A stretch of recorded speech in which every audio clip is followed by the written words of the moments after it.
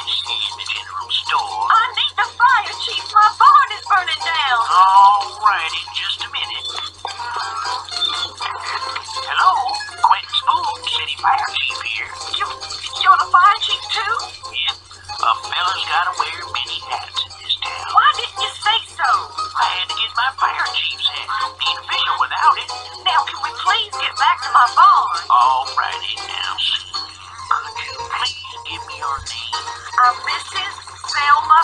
Bird. I live at 23 Elm Tree Lane. Okie dokie now. Where did I put that pencil? Be right back. Oh,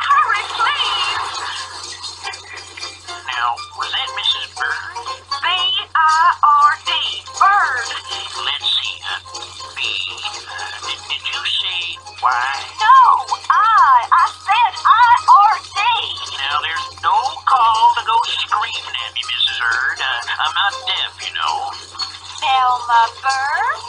You can show a little more respect to our dear Quentin Spoon. Who is this? Gertrude? Gertrude Anderson, you get off this line right now. Now, what can I do for you, Gertrude? Wait, Quentin. I just wanted to know if my package of peacock feathers has arrived yet. Oh, sounds like this calls for my postmaster's hat. Be right back. Wait. Gertrude, get off the line. Missing package of peacock feathers is not an emergency?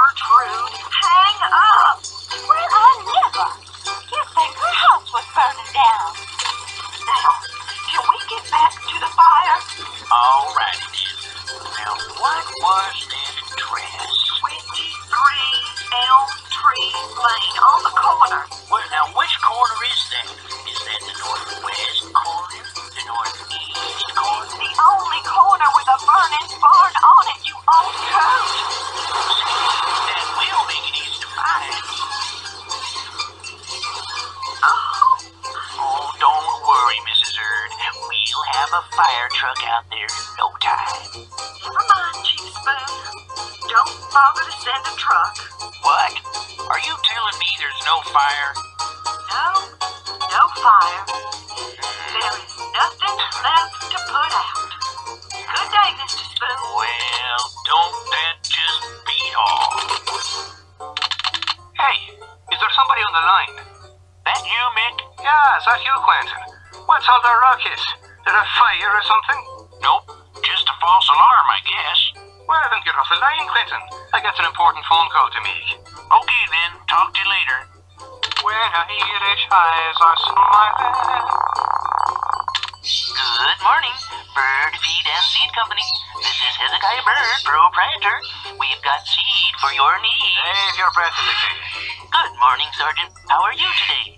Never better, Hezekiah. I'll have you know that me and the boys at the station house have taken possession of a brand new paddy wagon. Well, what do you know?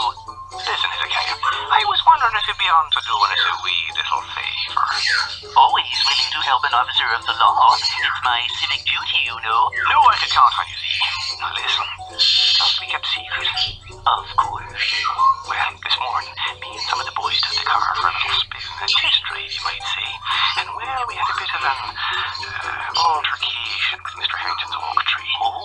He dented the fender pretty bad, and well, Okay, do you hear something?